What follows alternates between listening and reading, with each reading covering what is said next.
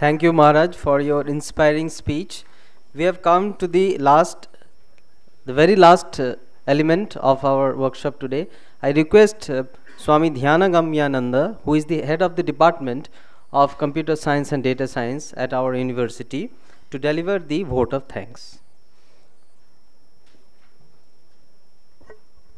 Thank you, Brahmachari Munmaya Maharaj.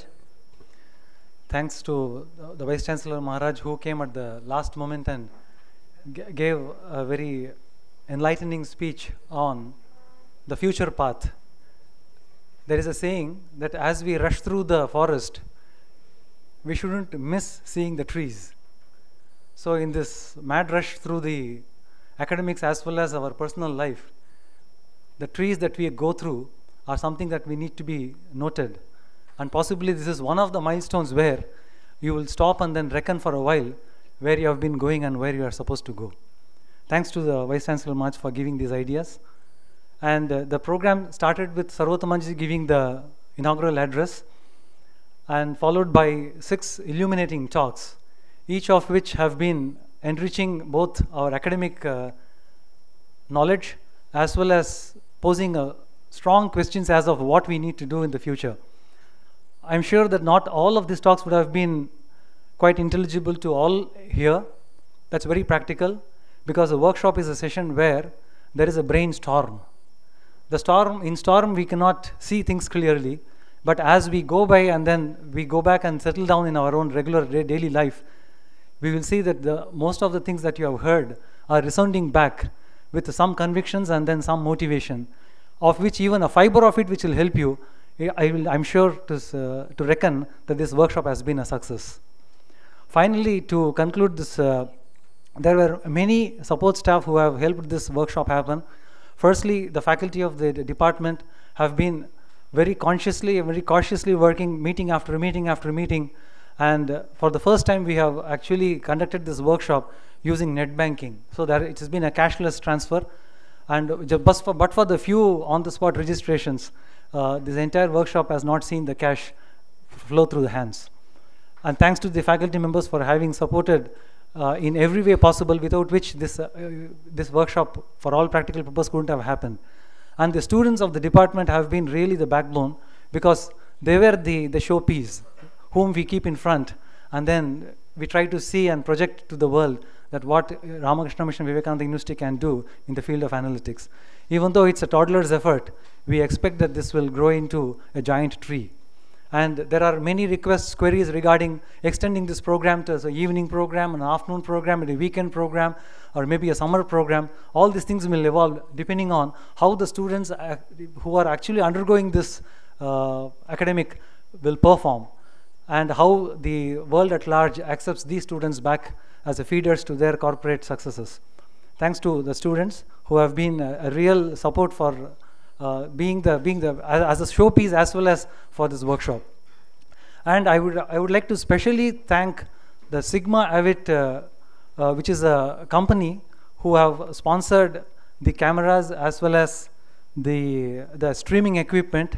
We are- we are- for the first time, uh, an event of this a long day event has been streamed through the YouTube alive. And maybe you you are not the guys who got the link, but those who are not being able to attend this program have got the link and possibly they are seeing this and enjoying the program. Thanks to thanks to the sigma avit people uh, who have done this uh, technological assistance.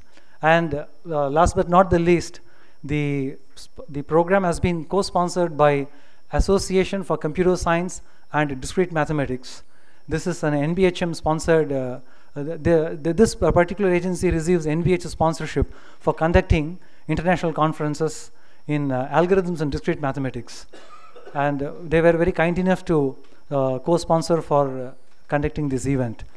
And last but not the least, I would like to, hell, I mean, I hope you would have enjoyed the lunch here.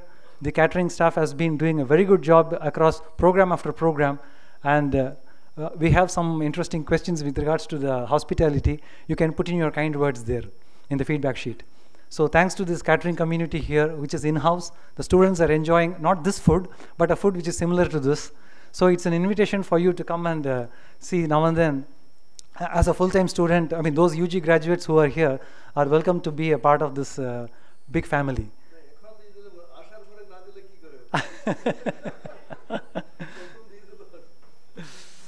so to, to end this session, I would like to put in a word of humor. In the, there is an ancient writer uh, dating back to I think 200 AD.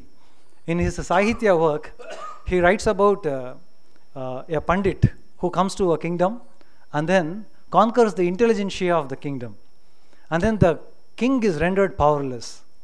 So much so that he has to consult this pandit for even doing his day to day administration because he lost almost all the verbal and intellectual battles.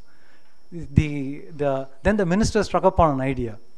Then he, he started, he, minister was no less good than the Pandit, but somehow the Pandit took over without, the, without consulting. I mean, the king actually lost the kingdom, lost the sovereignty over the kingdom without consulting the minister. So the minister struck with a plan. So he called for an open debate with the Pandit. The Pandit was actually considering to be himself invincible, gave the chance to ask the question to the minister. So the minister asked this question. It was a data analytics question. What is it? He asked, My dear sir, can you please answer how many crows are there in this kingdom? Then the Pandit said, No, that can't be answered. There's no way you can answer this. No, I have an answer. See whether you can answer it. So the Pandit scratched his head for a while. He didn't study statistics and none of these modern mathematics. So he said, No, this question cannot be answered. So, but that doesn't mean I have lost the debate. You will have to answer. The question came back to, boomeranged back to the minister. So the minister then said, There are exactly 506 5,693 crores in this kingdom. But then how did you arrive at this number? What if there are more? The more is because the friends of the, the relatives of these crows are visiting to see the residential crows. But what if it is less? These residential crows have gone on vacation. so thanks to the community who have gathered here, to the to the, to the most revered speakers.